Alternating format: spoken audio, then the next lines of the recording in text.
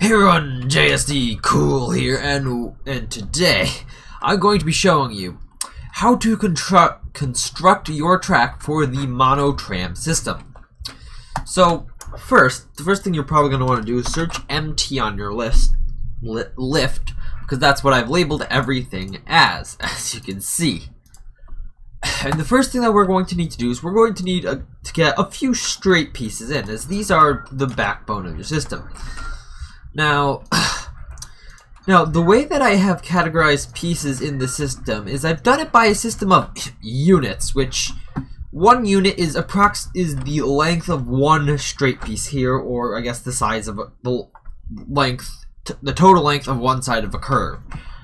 And I believe a length is like 33 blocks? Uh, don't quote me on that. It's something like that. It, it's a weird number, I know, but it, it just is, mainly based on a curve. But, first thing that you're going to need to do when you construct a track is you're going to need to make sure you elevate it sufficiently off the ground, as, I mean, this is scrap mechanic, and putting things too close to the ground will actually um, cause lag, and we don't want that.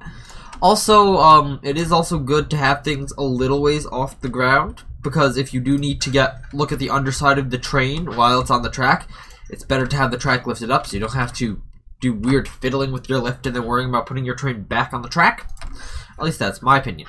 So, to build your tracks, simply just weld the pieces together like this, the orange section onto orange section, like so.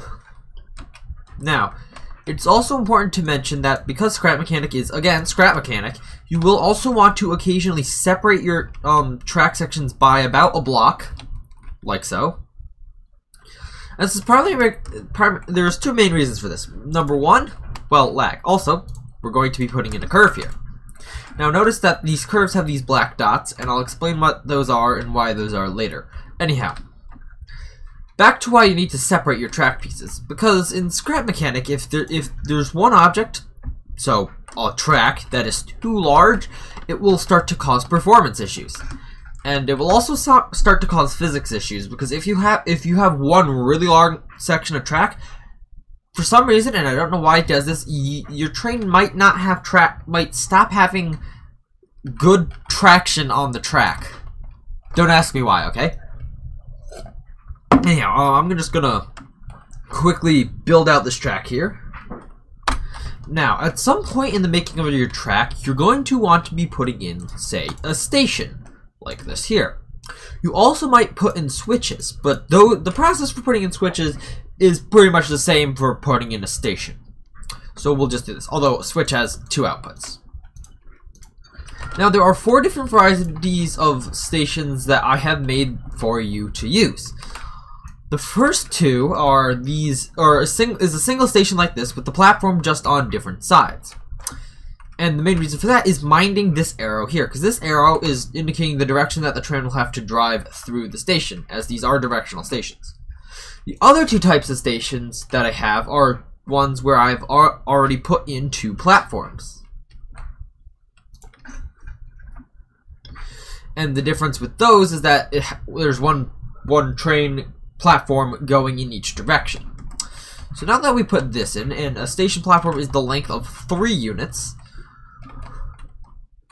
we can go and finish this off.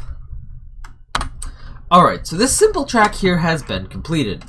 Now, there are a couple other things that will need to be noted here uh, when we're talking about track.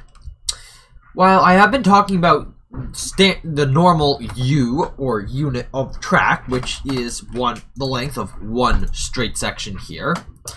There is also another unit that is when that is used when we're talking about tracks, stations, and the like.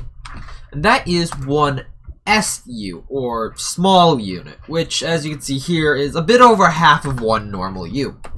And the way we get that is by we is that we separate if we want to put two tracks next to each other, we separate them by 16 blocks, 8 tracks, 8 blocks on the either side of each track. And that gives us a separation distance of 1 SU. Now, now if you are putting two pla train platforms together, there will be 1 SU in between the tracks in the center if it's a that type of train platform. Or if they're if you're putting the two platforms together to have the tracks on the outside, it'll be two each platform itself is one SU, so that'll be two SUs in between each of the tracks for the station. Additionally, if you need to use an S-bend for something like adjusting to the current location of a station, an S-bend has a width of 1 SU as well. And that is pretty much it for the how to build a tracks. So, yeah. Now, hopefully, that was descriptive enough for you to understand how to build your own tracks with the Monotram system.